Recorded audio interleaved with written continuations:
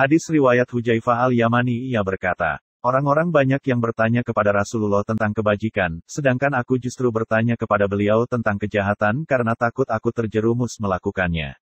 Maka aku bertanya, wahai Rasulullah, sesungguhnya kami pernah mengalami zaman jahiliyah dan kejahatan, lalu datanglah Allah dengan membawa kebaikan ini kepada kami.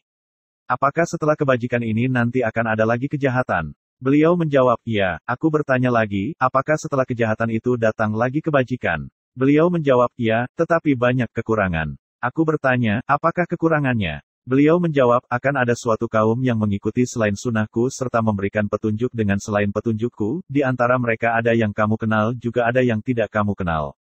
Aku bertanya lagi, apakah setelah kebajikan itu nanti akan ada lagi kejahatan? Rasulullah menjawab, ya, kelak akan muncul para dai yang berada di muka pintu-pintu neraka jahanam.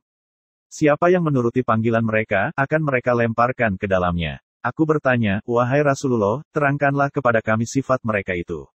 Rasulullah menjawab, baiklah, mereka adalah kaum yang kulitnya sama dengan kita dan berbicara dengan bahasa kita. Aku bertanya, wahai Rasulullah, apakah perintahmu jika aku mengalami hal itu? Rasulullah menjawab, tetap setialah kepada jemaah kaum muslimin dan pemimpin mereka.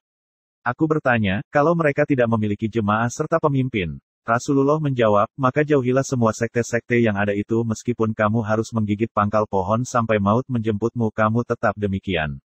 Sahih Muslim nomor 3434